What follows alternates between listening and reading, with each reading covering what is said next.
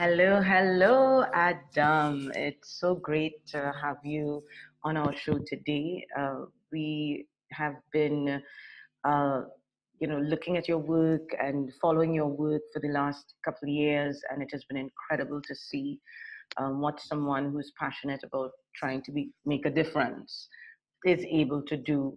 Um, you know, taking stuff from idea to you know manifestation and i think it will be really great for our viewers to get to know you better and to see what it looks like um, from the inside uh, creating a life that is about service to others but also trying to find that balance you know and so yeah welcome welcome to the show how are you thank going you very much yeah trying is the key word there i've Yeah, definitely not found that balance quite yet but we're getting there.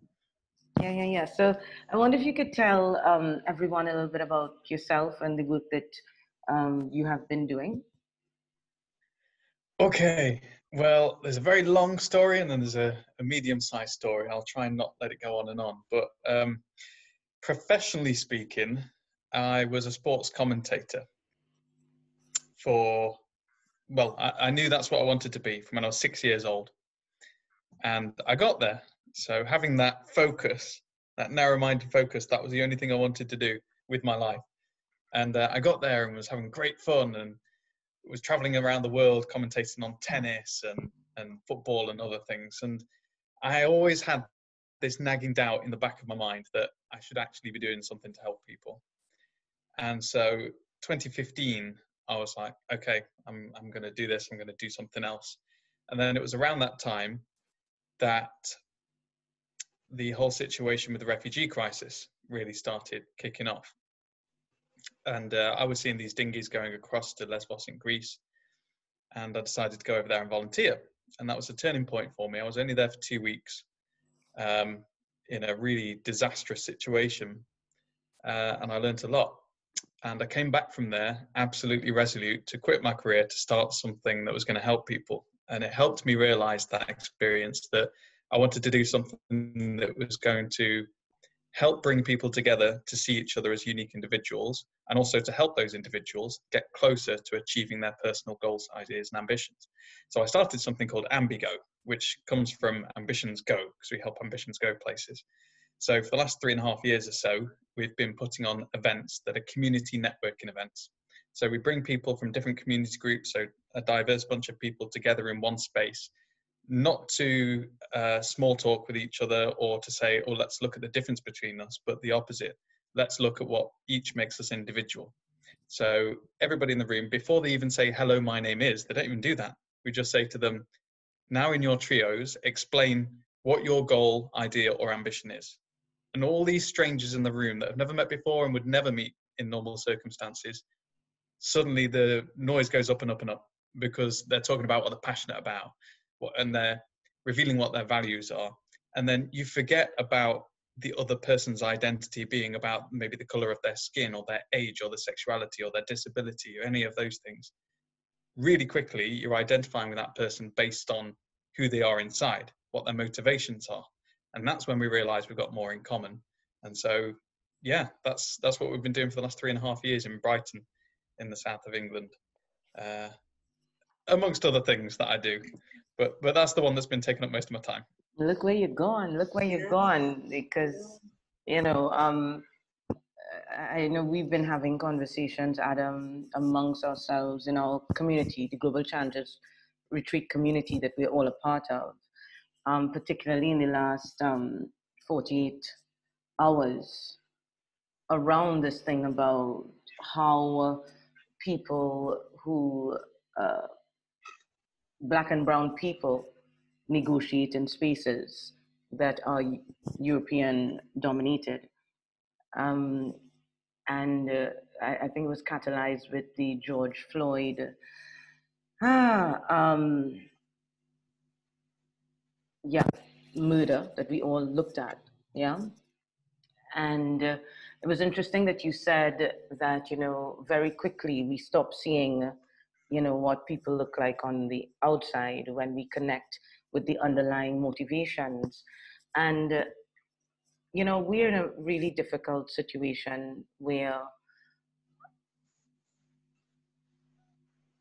what I, what I'm seeing is that people are seeing our people are seeing black and brown people's colors threatening and negative and therefore reacting to them in that basis. And then there's another school of thought developing that the right way to approach this is to not see color and to look underneath to what the motivation is. And I'm wondering how you would uh, respond to those who are on the black and brown side receiving this uh, oppressive, let's say, uh, perception of self uh, projected onto them, who say, no, but you need to be able to do both. You need to be able to see my color, understand my color, and also see our, and understand what that means in relationship with you, because it means something, and also see my underlying motivations and human, you know, drives. I, I wonder how you would respond to that. Mm, no, absolutely agree. It's both, and I think the the most important step is that understanding the need for that. Um, I was talking to some people yesterday uh, about the fact that it feels like there's been some kind of imaginary threshold that has been reached in modern society, which says because there is now legislative equality by and large. So, for example, you know, in the most extreme situation, slavery has been abolished um, in its previous form. There are now different forms of it, and the the laws might say that there is equality, but a lot of people, a lot of white people, don't recognize that there's there's more than that. The the perception is often, well, now we've got this equality. If you're still causing a fuss about it, you've got to get over it, type thing.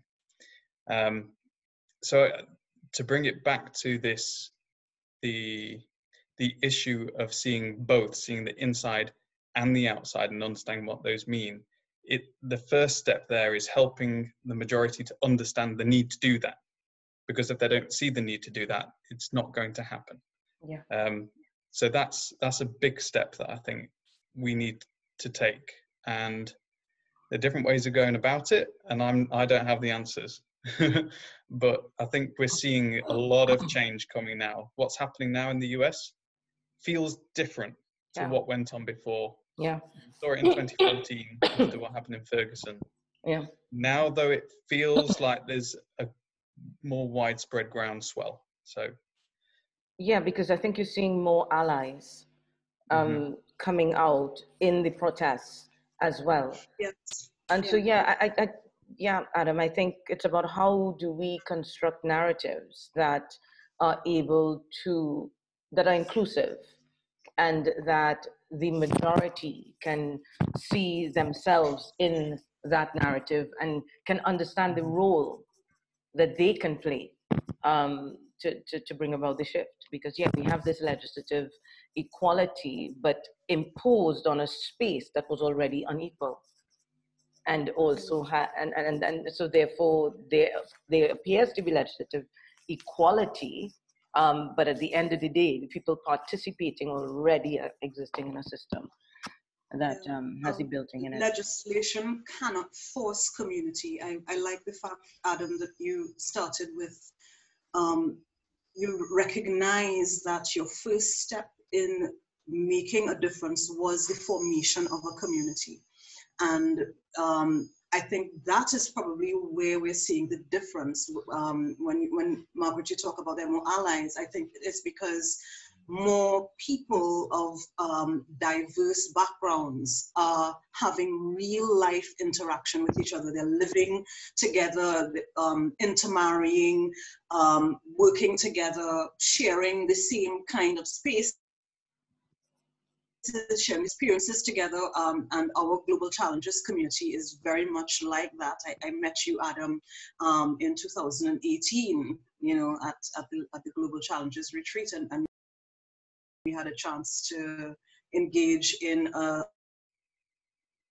empathetic, um, and it, it's it, that is where I think it starts. Um, even um, because a, a, lot of Asian Americans um, are also commenting about this because for a long time, um, their parents and grandparents um, sort of set themselves apart um, and was they were very insular, but their um, millennial Asian Americans and Gen Z, Gen Asian Americans have been growing up among African Americans with hip hop culture, with you know the, the, the, fashion and the style and integrating. So when Black Lives Matter happened, you know, a few years ago, they were asking their parents, "Why aren't you supporting? Why aren't you supporting this? Why why are you why do you see yourself as apart from from these people?" Um, so community, it, it is all about seeing people as human and mixing with people and the more segregated a society is, the more insular um, and, and divided a society is, no amount of legislation is going to be able to force people to, to get that human connection with each other. So I love the fact that your Ambigo community, it, it, it, the solution, Adam, started with community. Hmm. That is where it starts. Yeah, and it's also important to make it intergenerational as well we see, you know, in the UK, there's a massive difference between the political views, generally speaking, of over 50s, say, as opposed to under 35s. It's really stark. If only under 25s had voted in the in the last election, the Conservative Party would have barely won a seat in the entire country. But instead, they won a massive majority. So it's also important to make sure that informing community it's not just with this the same the people who think the same as you and also not the people who look the same and also are the same age because we need to make sure that there is an empathetic bond between people of all different kind of backgrounds and all different ages. Without that people are going to get left behind and that sows the seeds of confusion misunderstanding and from misunderstanding becomes come beget it begets fear which begets hatred. So that's something that I really try and cling on to as well with what I do. So you, you previously said that you were brought together into a room and you weren't really asked about your profession or your name and you know what do you bring to the table. You were actually asked what your motives are and what your objectives are. And now hearing about your community could you like identify what are the the objectives that you're looking for and how do you even form them I mean, these are all so different people. How do we really form, find those consensus, and then build on the on top of them? Well, what we do isn't trying to find consensus in terms of, say, community organizing. It's all about the individual. Mm-hmm. So when people are coming along to share their goals, ideas, and ambitions, that's on a personal level. So it's everybody explain what their individual goals are. And so then there's the cross pollination that happens. So what happens is at a, a standard event that we do, not during lockdown, of course, is we bring 30 people there or thereabouts into a room and uh, these are people that have come from different community groups. So for example we've worked with um, a group that helps people in recovery from addiction uh, and also people at the black and minority ethnic centre uh, in brighton as well and bring lots of different types of people together. And we say to them please sit with two people that you don't know, first of all, that you've never spoken to before. And people always do. I'm always surprised. At first, when when we first started implementing that, we thought there'd be friction, you know, there'd be, but no, people are, are really compliant with that request. So uh, they do that, and then they each have exactly the same amount of time to be heard about whatever it is that they want to talk about, whatever their goal is. So they talk for say four minutes each about their goal, why it's important to them, which is key, and also what would help them to achieve it. And then after they've helped each other get that down on paper, they stick those sheets up around the room. Everybody goes around the room with post it notes and they look at all these different ambitions that people have and they get inspired by what they're reading and what people want to do. And then as soon as you realize there's some kind of information, contact, advice that you can offer, you jot it down on your post-it note and stick it on. It's really, really simple, and that's why it works. Um, and so you get all these post-it notes on your sheet, and it's kind of semi-anonymous because the person whose sheet is isn't there holding it. So they are receiving this support uh, from people that are in the room that they wouldn't have necessarily received support from before. It gives you a massive boost of confidence. Um, and also, what people, what draws people to the events is the selfish side. They're going, what can I get out of this? I've got this thing I really want to do. How can I achieve it? I want to get that support. But as soon as the event starts, everybody forgets about themselves and instead they get lost in trying to help each other because we we are naturally we naturally get a kick we get a dopamine hit out of helping somebody else and so as soon as that activity begins people are just trying to help each other neglect themselves um, but you know that's part of the beauty of it and then we've not had an event so far where uh, nobody's been helped and we've not had an event so far where somebody said i didn't enjoy that everybody gets a real buzz out of all these strangers who they didn't even know existed two hours earlier have come out to support them. So that's where the strengthening of community cohesion comes in because um, there's so many positive bonds formed very quickly. And we don't have the science to back it up, but we just hope that that, um, that has a ripple effect outwards, that people are more inclined to ask for support from others, regardless of their background. Um, and also that they're they're willing to be more open-minded to when they meet people who they perceive as different to them out out of that environment. So yeah we, we would love to have the resources and the time to work out if that is actually happening. We just hope it is that's really incredible and and it's so beautiful the way that you've you know aligned people's uh, internal motivations for to help themselves with a, a, process which gives them an outlet to help others. That, that's it's really um, incredibly designed, I think. Um, what you're talking about, those kinds of events. Um, I, I, I, want for you know our viewers who are aspiring change makers, who have an idea that they want to bring out into the world, and they are looking at you and saying, "Wow, this is someone who you know decided to do something and made something happen." I'm wondering, um, what advice you could give to anyone starting out who has an idea about bringing about social change in their community, starting in, in some way, what kind of advice you could give them, what kind of challenges can they expect, and maybe what can they rely on, uh, you, you, know, what can they hold on to uh, through it all, because you have been consistent and you've stuck with this and I, I know we're going to talk about the other projects that you're doing now um, later on in this interview, but yeah, I don't know if you had any words of advice. Yeah, so there are two main things. One, and you won't be surprised to hear me say this, is just get that message out there to the universe about what it is you want to do. A lot of the time, people come to our events, and on many occasions, they're coming because they want to start some kind of community project or have some kind of social impact. And they've got this idea, but they've not really articulated it to anybody before. And so they don't think anyone's really going to help them. But as soon as they do, as soon as they get a bit of support and they're given a bit of confidence that actually their idea is pretty good and worth pursuing and exploring more, people come out of the woodwork to help. And we see it all of the time. Um, there was somebody in a, an event we did online a couple of weeks ago who was thinking about starting a project to support refugees um, through psychosocial support using yoga and meditation because this person had used those um, used those things to overcome her own PTSD, and she know she knows from her own experience of volunteering in Greece that she she could see that there was a lot of residents of the camp she was working at who were suffering through trauma, and um, so she wanted to start this project and just hadn't really told anybody about it, and so was like trying to research on the internet and not really getting anywhere. But as soon as she spread it out to the world, people come out of the woodwork. There's an organization that's based in Greece that have stepped up and said, actually, that would fit really well with what we're doing. Let's have a chat. And then it just blossoms. So get the message out to the universe in any way you can.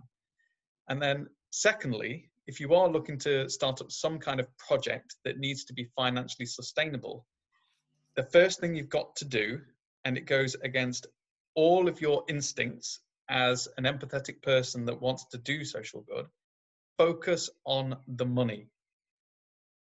Please trust me on that one. It's caused no amount of stress mm. because I went in with all the good intentions, spent all my savings on it. They ran out, and then we still didn't have that financial stability. So, what gave? It meant the other person I was working with didn't get to take any money from all his hard work. Um, or it felt dirty at first to concentrate on the money. No, I'm there for the social good. I want to help people. I want to help the planet. Yeah, we all do. That's why you're watching this. We all do. But unless you focus on the money, you're not going to have the sustainability to help anybody in the long term, or the short term. Because as long as you're worrying about that, then your energy is depleted. And without that energy, you can't do much good. So please focus on the money. And then the last thing you said was about um, uh, something alluding to like the support to keep you going. Yeah. Um, well, I've been very lucky to find uh, U-Solve, who have been a massive support to me. And uh, you will find your community as as long as you get the message out there. You will find communities. You will find your tribe that will support you. And it's so important to do that because you feel you can feel very alone if you're trying to set up a social impact project for the first time there are so many highs and lows it's so turbulent there are so many occasions where you will probably think i can't do this so many people have been through that before and they will help you through it so again just get the message out there people will come out the woodwork to support you thanks adam thanks adam we've recently gone through COVID. I just want to take a little switch. Jessica, Anja, you all could jump in. right. I, I, I, was about to make that switch too. Yeah. Because um, you, um, one have gotten as a takeaway from your experience um, working on the ground in the refugee camps um, in Greece. Um, it was in Lesbos, in Lesbos in particular, was that when it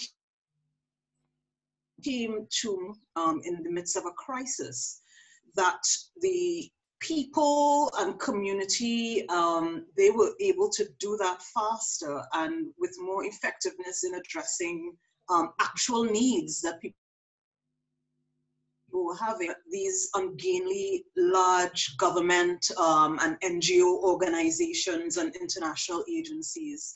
They were sort of out of it.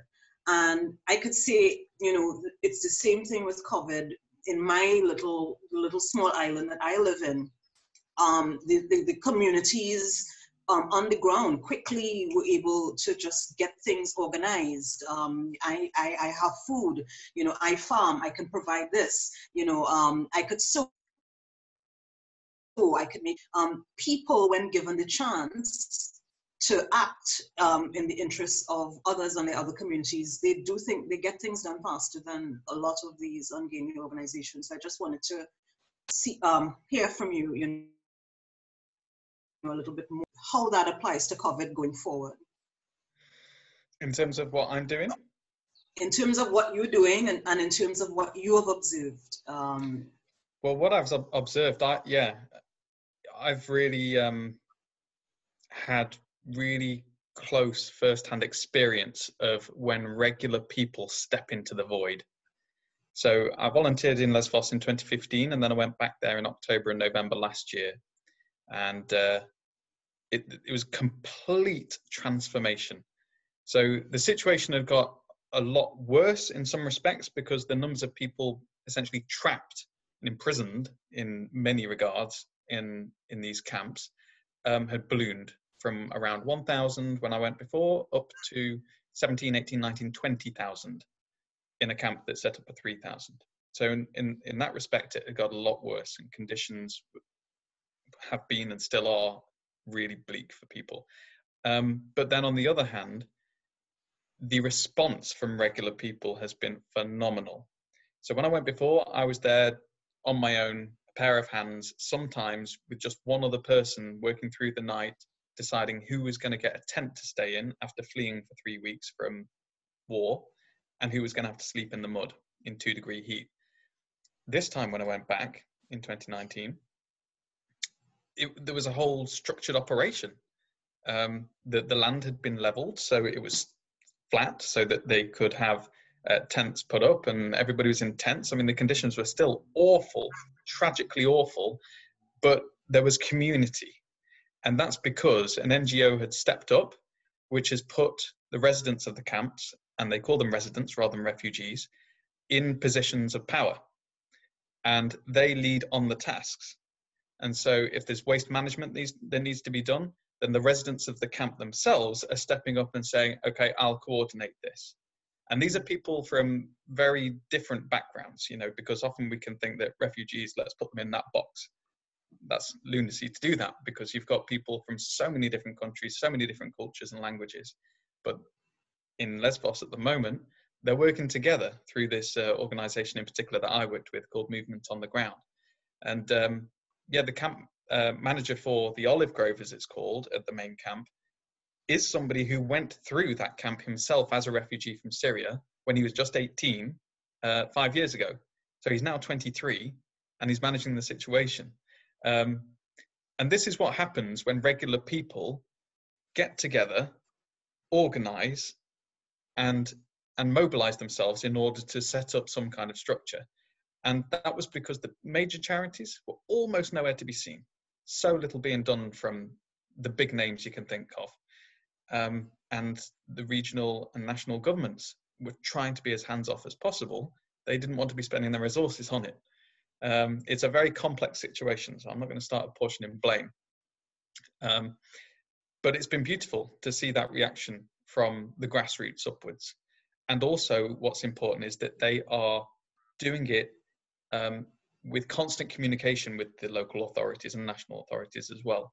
They're always willing to show government ministers around uh, from different countries, not just Greece, because they want to work with them, not against them. Confrontation helps nobody, and it's the same with the police locally as well. So there's a great deal of respect between them, uh, and that has been so vital.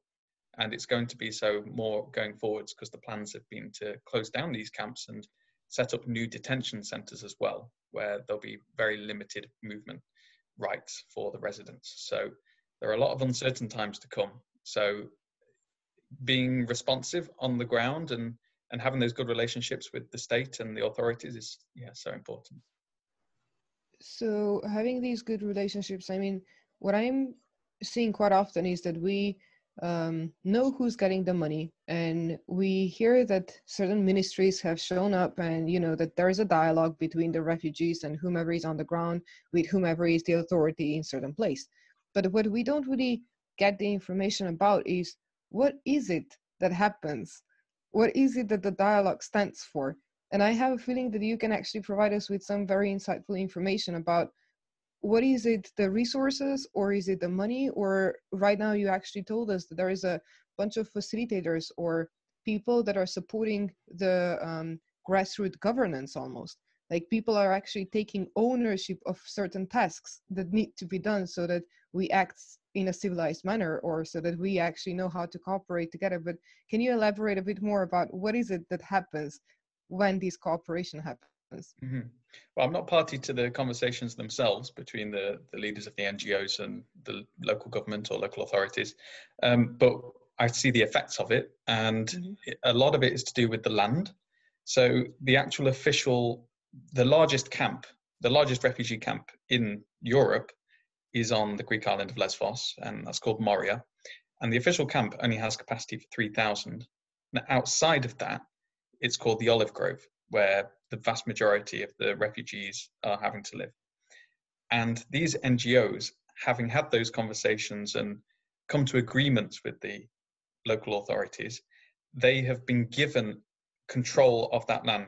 So the local authorities have said, okay, you NGO that didn't exist more than three years ago, you are in charge of this land and everything that happens on it.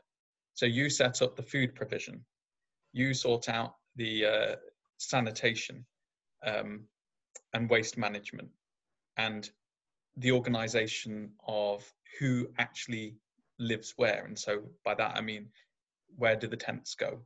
Uh, how everything is structured. So, and that has such a huge knock on effect.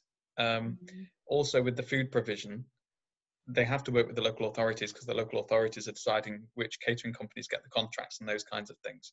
And then that catering company then uh, works with um, some people from the military as well have been there, um, kind of just overseeing things, but they're working with residents of the camp through the NGO in order to make sure that people are fed. And they've got such an effective system. We've seen it countless times before. When you open a food van, there's a huge crush, it's completely undignified. Some people get a lot, and so many people go without, the most vulnerable. But there's such a structured system here, input by, implemented by the NGO after they've worked out the best way to do it with the local authorities, that every single person it's designed will receive exactly the same amount of food. So it, it's not going to be perfect, but it's the best solution that I could imagine, and they're doing it so effectively as well. Uh, this almost sounds like um, uh, ad hoc minimum viable urbanism and agriculture mm-hmm. um, project that really happens just for a um, certain amount of time, um, just to solve the crisis, and might even stay there, might even become something um, on a long term. But is that something that your project is also about? What my your, yeah, how is your project integrated into all these work and all these solution solutions that we have just addressed? Um, I've never really um, thought about it in deep connection. Because uh, what I do in England has kind of been one response to a problem that I saw when I first went to Lesbos in 2015, uh, which was the lack of cohesion back home. Because we've seen the borders go up throughout Europe since 2015 to these people that are coming over through this fear fear of the other. They're going to come here, they're going to take our jobs, blah, blah, blah, blah, blah. And so, what I wanted to do, where I felt my skill set was best suited, rather than being on the ground and volunteering until I ran out of money and that was no use to anybody, I wanted to do something back home that was going to strengthen that cohesion. So that that's the link I saw between my project in Brighton and what I was doing over there in Greece. Cool. Cool. And I want to take you back to Ambigo, um, Adam uh, we just went through COVID. I say went through as if it's past tense. We're still going through it. But how has COVID, because Ambigo is about putting on events and bringing people together and all that stuff. So how has COVID impacted your work in Ambigo? Yeah, well, like most people, we've had to innovate. So we've taken our events online. So they're very different. And um, I'd say they're more effective in the sense of helping people achieve their ambitions, but perhaps at the moment anyway, less effective in strengthening community cohesion. Right. And I say that because what we're doing now is we, we can't have an event with 30 people. And because it's a, a publicly broadcast event, um, we use a platform called StreamYard. Um, it's going out on Facebook Live and YouTube. We're not getting people that aren't extroverted basically and so we're getting the people that already feel confident about their idea and confident to be vulnerable you know okay. because talking about your personal goals ideas and ambitions is quite an intimate thing uh, and so you know it's it's a big ask of people and we often work with marginalized people vulnerable people and so they're not they're not coming on board for this yeah so we're still trying to work that out so what we're actually doing in real terms is we're doing basically like a TV show. So we have six people that come on and they we have a chat with them and I ask them what is their goal, why it's important to them, and what would help them achieve it. And we just chat for 10 to 15 minutes around loosely around those three questions and then put that ask out there to the universe, to the people watching. Um, is there a way you can support them? And so it's effective in helping them achieve their ambitions because it's going out to the world. So it's reaching more people, not just 30 people in one room. Um, so that's the positive. But um, my greatest aim, my core will, is more the strengthening commu- community cohesion part. At the moment, these events are, are, more, you know, being really candid here, are kind of really catered towards uh, the people who are already in a position of privilege. Mm. So there's still something to work out there. I mean, ideally, we'd get back to normal, um, but that's not going to happen. So we've got to continue to innovate. And, and maybe I could throw in a little ambiguous approach here. How can, you know, uh, others, people watching and us, how can we help you um, do those events better or, or help you with your innovation? How can people help you? Mm. Um, ideas, first of all, because I'm not going to profess to be an expert in doing online events. Um, I wasn't an expert in doing any events until I just started doing it.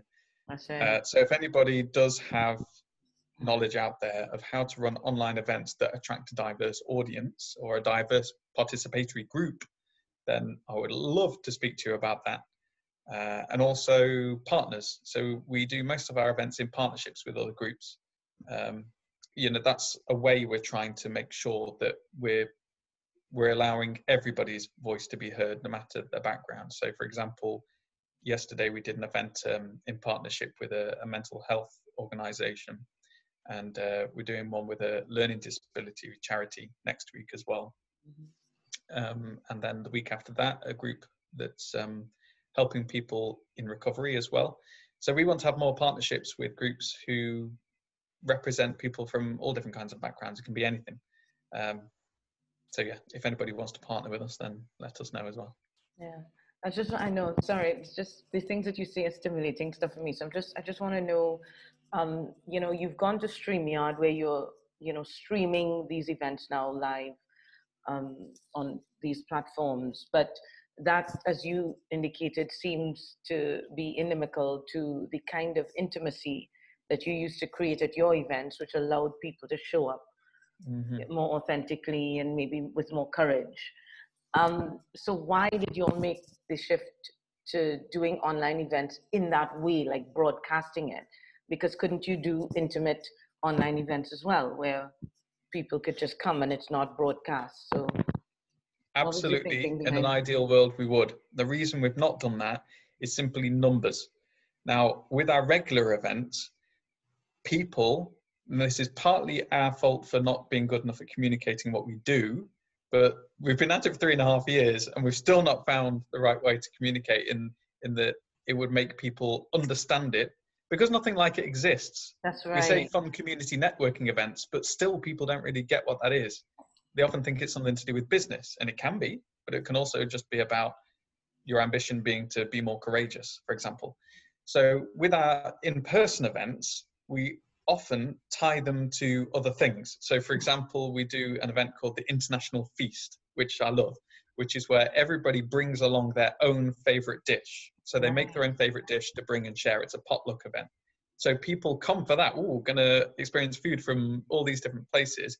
Brings in people whose roots are all over the world into the same space. And then we go, surprise, we're doing this goals, idea, and ambitions thing. Well, we, it's not a surprise. we do communicate that beforehand, but yeah. they're not thinking about it. Yeah. And then when the event starts and they start doing that, that's the bit they love and they want to do more of and it creates such a nice atmosphere in the room when somebody stands up and says i want to do this now at our live events we don't not everybody has to do that we really respect that some people don't want to say anything in front of a big group so um, that's making it optional means that it's inclusive but with our current events we've got no choice but for you to you know do it vocally although we do accept written ambitions as well that we that we communicate. Um, so maybe that's something else for us to look at. You know what is the substitute for that thing yeah. that can draw people in? So we often tie our events into large occasions as well. So, so like we did an event for chinese new year for example. And so people come to experience this chinese food authentic handmade homemade chinese food and, and then stay for the ambition stuff. Uh, so that's why we've not done the same kind of thing online simply because we've not been able to get the numbers in without you know without doing it the way we are doing yeah and you you touched on something i think that's so important um, for entrepreneurs and in particular social entrepreneurs have to be thinking about because a lot of times social entrepreneurs are doing things that have never been done before because you've come up with an idea and all that sort mm-hmm. of thing and, and it's a it's a big challenge i think when you don't have a roadmap or a blueprint to follow because your mm-hmm. idea is so unique um, to be able to learn and understand how to construct the right messaging and the right narrative so that people you know understand what they're getting and all of that and i think you all kind of hit upon it in how you all approached it uh, by giving people what they wanted right? Mm-hmm. and and understanding them first. What do they want? What is going to drive them? What's going to motivate them? That's aligned to what i do. And you give them that and then when they come in you you know of course you, with integrity you show them before what they're going to get as well but you really hit them with the stuff that you know you've analyzed the problem space and you've come up with your solution and you give them the solution packaged in what they want so that, I, I think that's brilliant and i just wanted to pull that out and articulate that from your story because i think that's a real great nugget for mm-hmm. social entrepreneurs listening to your story and how you were able to do what you had to do. Yeah, but COVID impacted you in a in a very real and significant way as a social entrepreneur as well. Outside of Ambigo, you you were moved to do a lot more. Adam, share with us about the project that you're working that you that just came out of COVID and just blew up, you know, to be a transnational project with yeah from all over um, the world and and yeah, share a little bit with us on that project. At the end of March or start of April, uh, that's we were a week into lockdown here in the UK, and what everybody was talking about that moment was PPE, personal protective equipment. I listened to a, a radio interview with a nurse in a hospital who was saying that she wasn't being given adequate personal protective equipment, and in fact, the guidelines had been written to suggest she didn't need it even though she had people with COVID symptoms coughing in her face. And I was livid. How? This is the UK. How are we allowing this to happen? Uh, and so I put out a call on the internet just saying, okay, this is happening, doing something about it, don't know what, give me your ideas.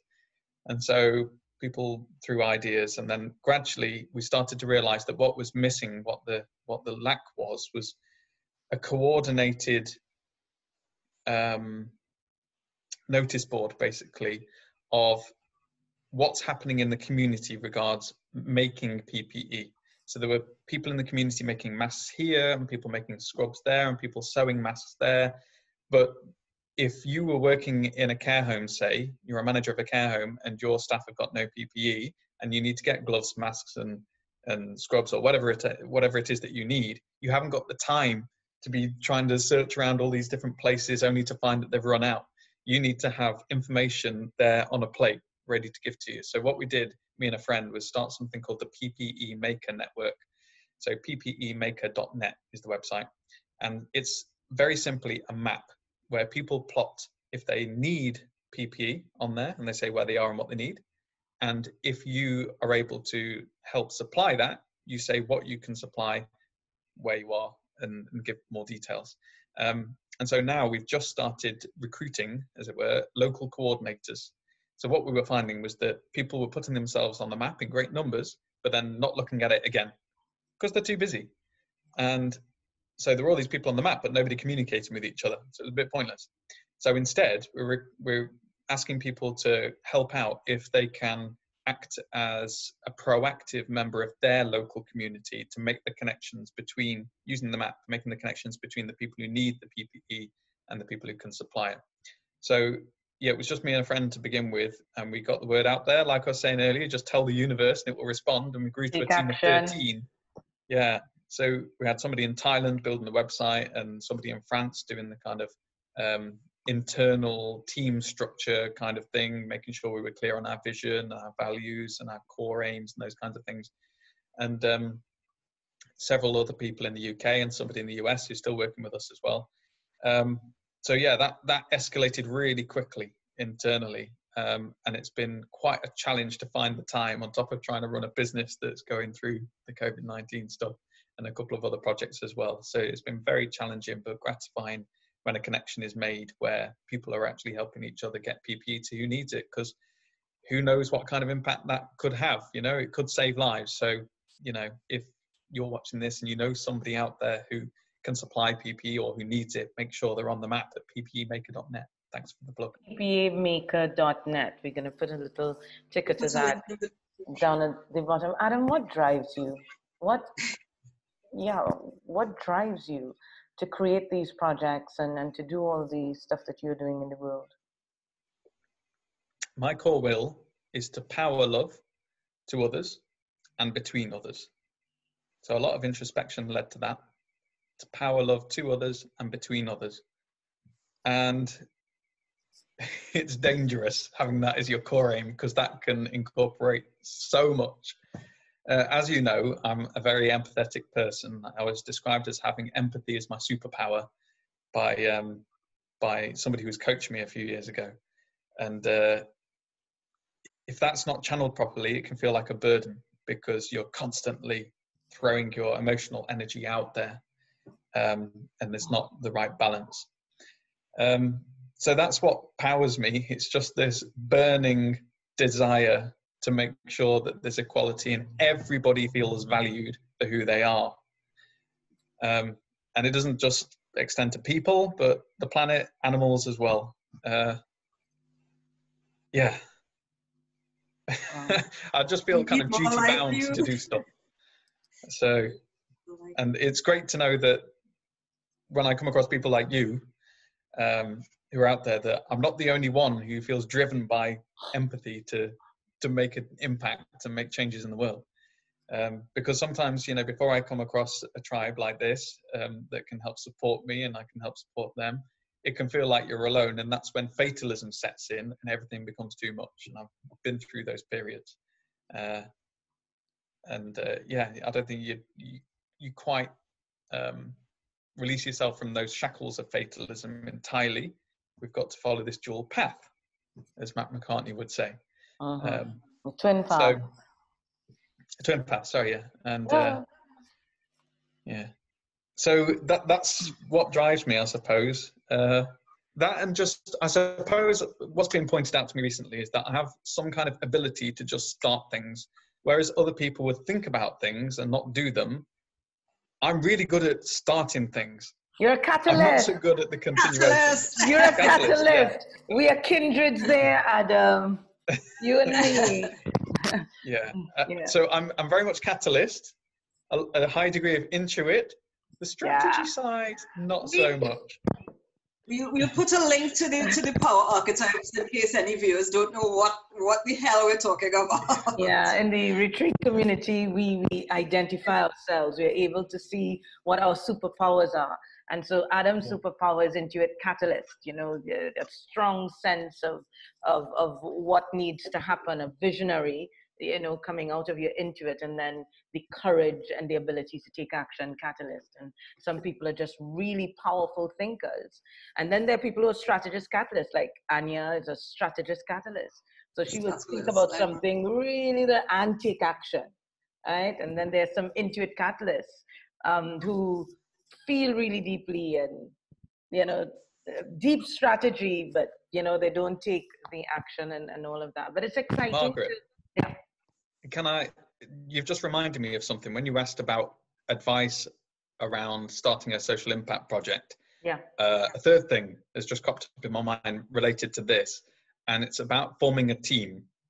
It's so crucial in the early stages to yeah. make sure that you are getting people that you are as confident as you can possibly be is the right person or are the right people to be in your team.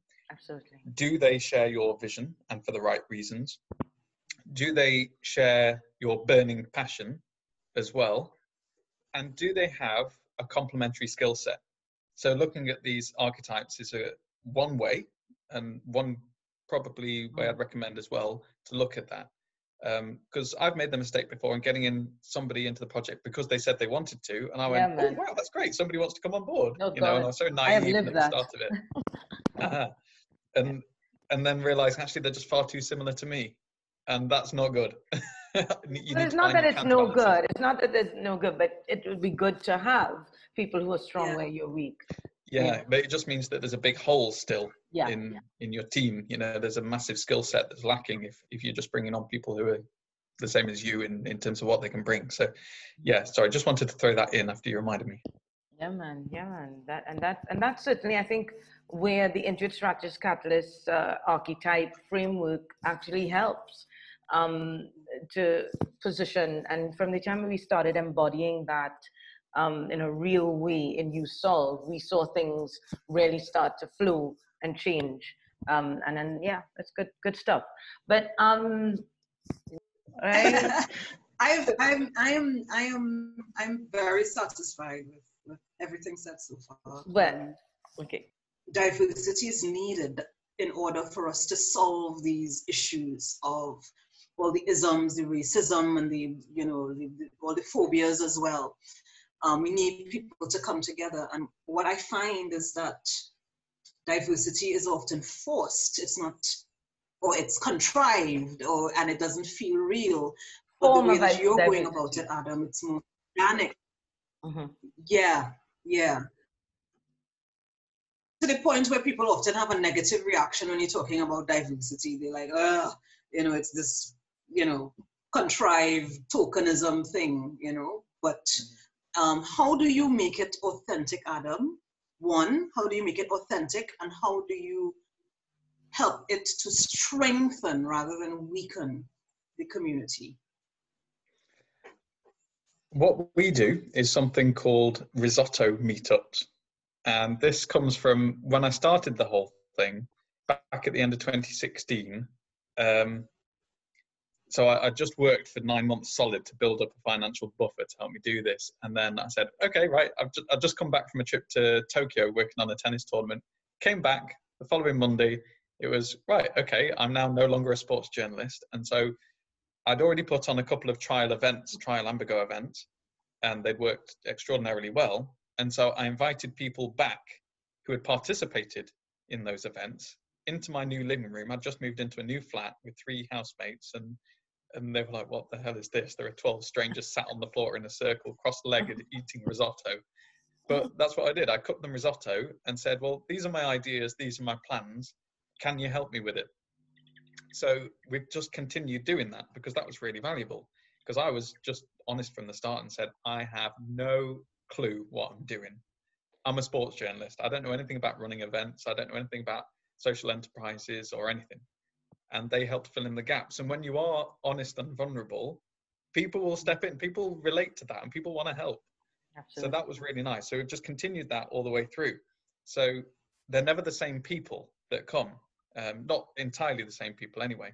So as our events have gone on and we've been able to bring in people from all different kinds of backgrounds, they're coming to these risotto meetups where I continually ask, how can we do this better? How would it best serve uh, the most diverse range of participants possible? How can we reach into these different geographical areas that we don't seem to be attracting anybody from? Um, so when you're filling out funding applications, there's this question, which is how have you um, used community in designing your offering? And they put that question in there for a really good reason. And it's what you were talking about, Jessica, about how sometimes it can feel contrived or imposed. And it's I'm really glad that the funders are asking that question to make the organisations think about that. Um, so it's always been from the bottom up. So it's anarchic. Yeah, it, it's never okay. We're going to do this now. it, we're going to do this now, and you you this type of person here are going to come face to face with this person here, and you're going to get on. It's it's about using the learning and the feedback and the wishes of the people that we're trying to serve in mm. order to um, to inform what we actually, actually deliver at our events. So you can only make it authentic if it's being powered and the ideas are coming from the people that you're trying to benefit. If not, then it's a an imposition. I like that. The ideas have to come from the people you're trying to benefit. Mm. Yeah. And risotto and risotto. And you're just Which making me. me hungry. So, you know, we- you know, God. I Yeah, everything to- seems to revolve around food. I'm starting to realise. Yeah. yeah. yeah, It the is quite a food brings everybody together. Yeah, well- it's an important element. I mean, even the business meetings are happening quite often over a lunch or a dinner. Apparently, the appetite and uh, just the feeling itself triggers some of the satisf- satisfaction uh, Yeah. in the body and makes you um, more aligned with whatever people are suggesting around you. So you're Mhm. pretty much going to say yes much more often. It even was like, what was it? A research people were actually um, finding a correlation between judges and how they actually um, declared their judgment whether a person is going to go to the prison or not. And after lunch apparently they were much more like you know going with the notion of yeah let's leave it outside. Let's not put that person into the prison and stuff like that. So it plays a huge role on how Which we is are, kind of scary in a it way. is, but at the same time, being a strategic, having a strategic mindset, if you want somebody to actually say yes to what you're offering, then make that meeting after lunch. Yeah, yeah. It's it's a tactic we use in, in marketing and advertising when we invite a client Yeah. in. You, we feed them. You, you you take them out to lunch. You you you wine them, dine them. Anytime you have meetings, you make sure you have coffee and refreshment. Mhm. So now with COVID and fun. everything going virtual, yes, yes. we, we lose one That's of it, because it's a it's a beautiful shared experience, isn't it? And when you, are sharing food together, you're starting from the base point of something we have in common. Mm. This shared experience of the food, yeah. uh, and ostensibly, it's, the focus is on the food, but it's not. It's on the relationship between the people who are sharing the food. And um, you know, just a, a little trick that you can do in a setting if there's conflict going on, you make sure that you only have uh, one ladle or whatever it is that you need, one serving implement for the food, so that somebody is serving other people. So bonds of trust are being formed between the different people. Um, you know, rather than serving everybody's food on a plate ready for them. So you know, you learn these little things. Interesting. Interesting. There was a city that um, was trying to encourage a lot more um, socialization and, and intermingling, and they had this program where they got bars to deliberately mix up people's drink orders and food orders. So you you you know you were forced to go, oh no, you have my sandwich or you have my drink, and exchange it and to interact with each other. So, yeah Yeah. we will have to in- innovate new ways of doing that virtually and online um, if this COVID thing continues for months or if a new epidemic comes around that has the same social distancing, physical distancing effect. Don't want any When you- more.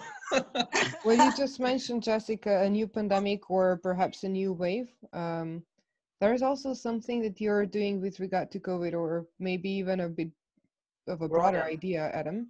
Yeah, much broader.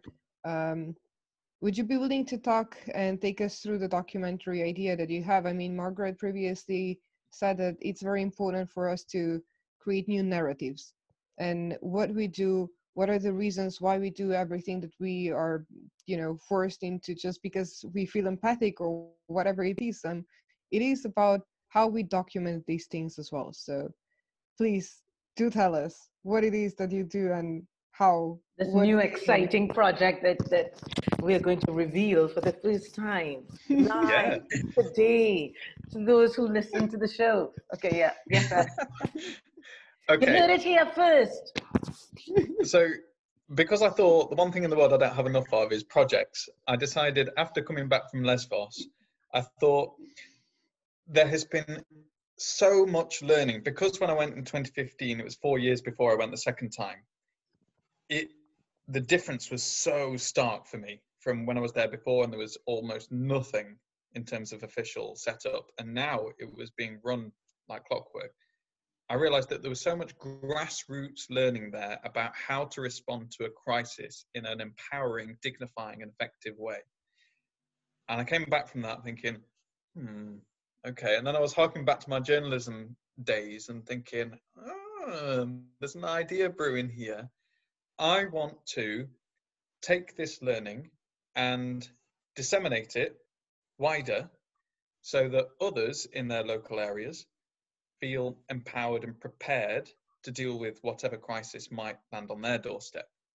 Um, so this idea has developed from looking not only at the Greek refugee crisis situation, but also at other crises that have happened in recent times. So um, most specifically in the research phase at the moment, looking at things like the Ebola crisis, um, because th- that was grassroots, but in a very different way, because there were large charities there that were connecting with people at the grassroots level to inform the community, to have um, community educators going around and telling people about what the disease was and or is, and also how to combat it. Uh, also, Hurricane Harvey in the US, because there was a huge grassroots response there with some 5,000 rescues taking place from people from across the USA who got their fishing boats, put it on the back of their, their truck, took it to where it was needed, and then as soon as the Coast Guard said, yes, you can go, they just got out on their fishing boats um, and went to where they were being told on their phones by people who were coordinating the thing, again, grassroots on their phones, finding out on the ground who was in trouble, who was waiting on their reef to be rescued. And all these regular people were going out there to go and pick these people up and save their lives. Um, so there's so much learning. And so we want to get that out there because we kind of feel like at the moment, like, oh, we're going through a tough period. This feels like just the beginning with the climate crisis to come and all of the social issues that we've got going on that are going to be worsened as well, potentially by the climate crisis and so much else. Um, I think everybody's kind of aware. Um, there are going to be more crises. That's inevitable. So, how can we help empower people to feel prepared to be able to collaborate with others from a grassroots level? And then, after I brought this idea to you and, a, and two filmmakers who are absolutely amazing, Leslie and Rob, um, ideas started to blossom. And then and you were like, hmm, what's the of digital technology in this? And I was like, yeah. So from my experience, like digital technology is huge and then you were coming up with ideas around that. And then Margaret was like, well, what about the relationship with policymakers? Surely that's crucial. I'm like, yeah, that's obviously like a huge part. So now, now this thing has blossomed. And like Margaret, you were saying before about it would be fantastic if we could actually at the end of this work towards um, developing some kind of actual tool that we can give people so that they can go on and do it. So we don't just show it, we give them something to enable them to actually put it into practice when they need it the most. So yeah, just in the research phase at the moment. Very excited with COVID and everything. You know, there are huge question marks about how we're going to be able to uh, get the resources for this, but we can make it happen if the will's there. So very excited. Any ask around that? Any ask? A lot around that. Um, so we are looking at the Greek refugee crisis, currently the Jakarta floods, which are happening very frequently, most recently at the start of this year, Ebola, uh, and Hurricane Harvey, and then COVID. So, if anybody out there has any kind of experience of grassroots response to those crises, or you know somebody that might have, please put them in contact with us uh, because we want to learn from them, first of all, and then who knows, potentially with a view to actually including them in the documentary. Um, and also, if you are from, let's say, a research body, um, maybe you're from a department studies um, faculty of, a, of, an academic institution, and you're thinking this is something that could help us, you know, there, there's learning out there uh, at a grassroots level that we don't know about that could be useful and feels pertinent going forwards, and you would like to support us to do it, again, we want to speak to you as well. And maybe you've got your own asks that you're thinking of as well. No, um, yeah, it's, it's, it's all good. Yeah, what we are going to do on our end, because, you know, Future Law is very excited to partner with U-Media and yourself uh, with this documentary. And so we have lawyers from all over the world who are coming together. We've now crossed over 130 lawyers and systems thinkers coming together to um, yeah, I know, crazy, crazy. and we started at the end of March as well, um, who are mapping uh, what governments are doing in response to COVID-19, and so that we can, you know, get learnings together about what is going on in the world, so that we can be more effective for uh, uh, future crises, which, you know, from all people who are looking at future trends, futurists, whether you're legal futurists or another futurist, it is clear that this is not going to be the last one uh, for the next 50 or 100 years. It seems that this may be catalyzing a whole new period of transnational crises. And so we're coming together to do that. And so one of the things, um, if we have any of our lawyers looking at this conversation today um, from all over the world, if you have knowledge of uh, policy responses in those particular crises that Adam has identified, um, so it was it's the Greek refugee crisis, it's Jakarta floods, uh, it's the what's the what's the Ebola. Ebola right? Ebola and Hurricane, Hurricane Harvey. And Hurricane Harvey. Um, that's the US. Uh, so any of our lawyers in any of those teams, we know we have lawyers on the African continent and in the US, and um, in we have a, one in Greece actually, just one mm-hmm.